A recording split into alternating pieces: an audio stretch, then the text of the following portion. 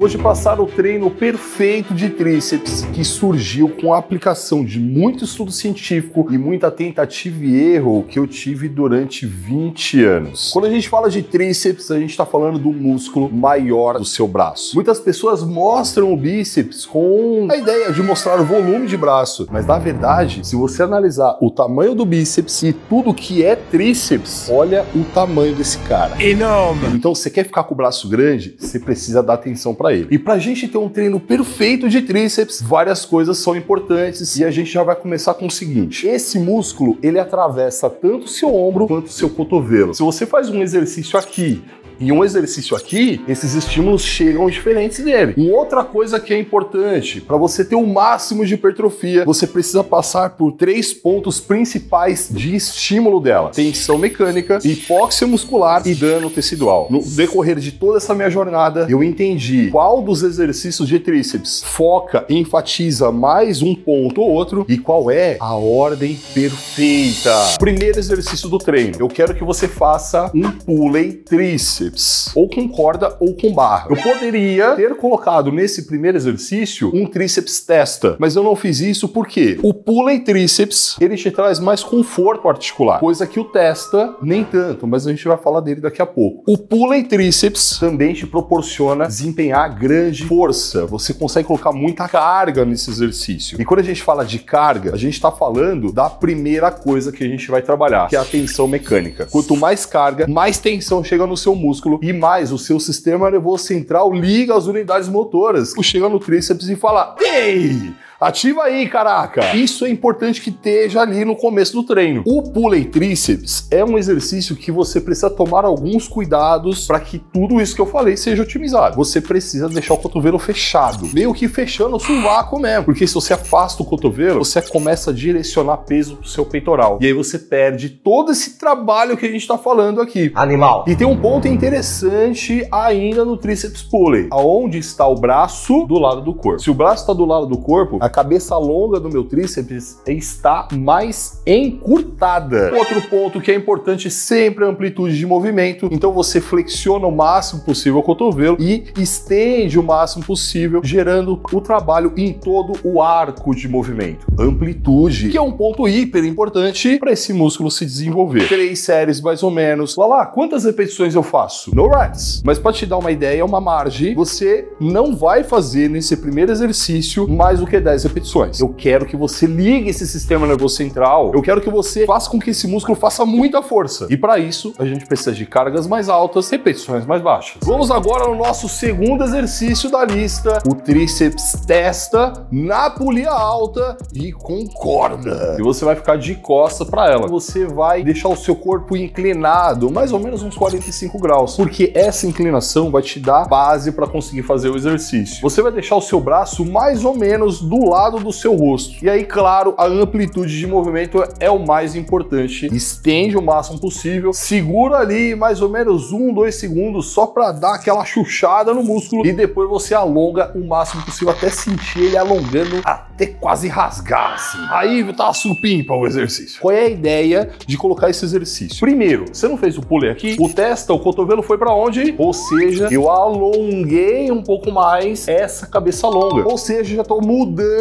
a mecânica do exercício todo. E por que, que eu coloquei uma corda nesse exercício? Vai te proporcionar uma parada muito legal no testa, que é a contração de pico. Você não vai simplesmente fazer o exercício, você vai fazer e vai apertar um pouco mais no final. Dessa forma, você vai aumentar o tempo sob tensão. Quando a gente aumenta o tempo sob tensão, esse músculo em contração, ele vai consumindo todo o oxigênio que está ali dentro e chega uma hora que ele entra o segundo ponto, a hipóxia muscular. Ou seja, falta oxigênio lá dentro. O seu músculo entende que ele precisa ficar mais forte por conta disso. Eu sou um merda, meu irmão. Agora, acorda você entender o motivo. Por que então a gente colocou esse testa na polia alta e eu não pedi para você fazer, sei lá, o testa com barra? O tríceps testa é considerado pela ciência eletromiografia o melhor exercício para tríceps. Entretanto, esse cara, ele cobra caro da sua articulação. Ele acaba exigindo muito do seu cotovelo. Uma coisa que eu percebi fazendo na polia alta, você alivia a articulação, ou seja, você exige menos dela e tem um exercício tão bom quanto, com a possibilidade ainda de colocar corda e gerar todo esse negócio que eu falei. E quando a gente fala de articulação, é uma coisa hiper importante porque se você machuca a sua articulação ou sente dor, como é que fica a sua intensidade de treino? Uma merda! Agora, se você já tem algum desconforto, alguma coisa, no site da oficial você encontra alguns produtos específicos para articulação. Então já dá um pulo no site, vê isso e aproveita o cupom de desconto que você tem aqui com a gente. Vamos manter três sériezinhas nesse exercício. Aqui, olha só que interessante, você já consegue aumentar um pouco o volume de repetições. Já pode chegar em torno aí de 12, 15 repetições, porque a gente precisa, lembra, de manter esse músculo o mais tempo possível tensionado, contraído. Terceiro exercício do treino. Primeiro passo, o que, que a gente fez? Colocou carga, tríceps pulley. Aí a gente estimulou aqui tensão mecânica. Aí o segundo, a gente veio tríceps testa na polia com corda. A gente gerou